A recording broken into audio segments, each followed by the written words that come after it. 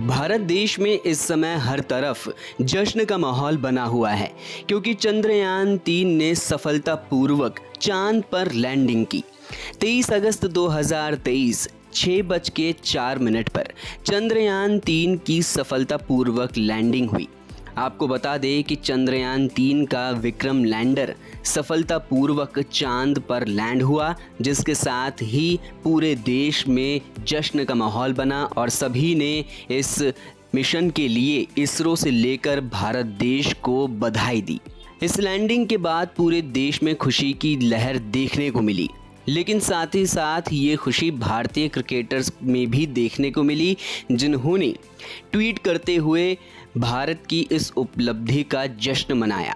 आपको बता दें कि बीसीसीआई ने एक वीडियो अपने आधिकारिक ट्विटर हैंडल पर जारी की, जिसमें भारतीय खिलाड़ी चंद्रयान तीन की सफलता पर जश्न मना रहे थे।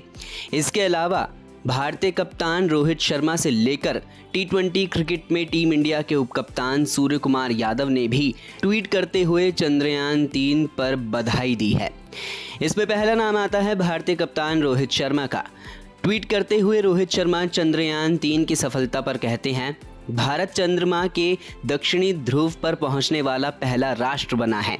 हम सभी के लिए गौरव का पल है और इसरो को उनके सभी प्रयासों के लिए बधाई।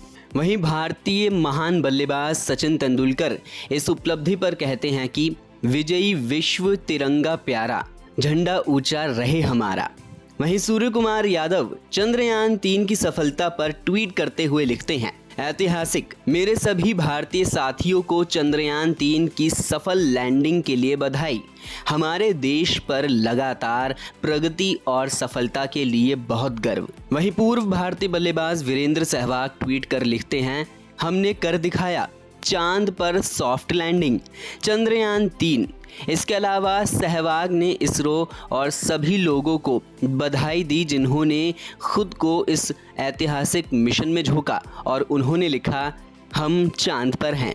वहीं भारतीय स्पिनर आर अश्विन ने भी ट्वीट कर लिखा, इसरो को इस शानदार उपलब्धि के लिए बधाई। अब भारतीय खिलाड़ी खुश क्यों ना हो? ये भारत के लिए एक ऐतिहासिक पल है।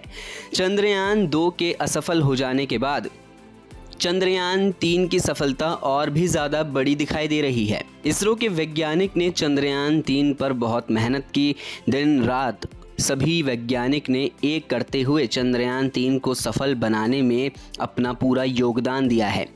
वन इंडिया की तरफ़ से उन सभी को चंद्रयान तीन की सफलतापूर्वक लैंडिंग पर ढेर सारी शुभकामनाएँ। इस खबर में फ़िलहाल इतना ही। बने रहिए वन इंडिया के साथ।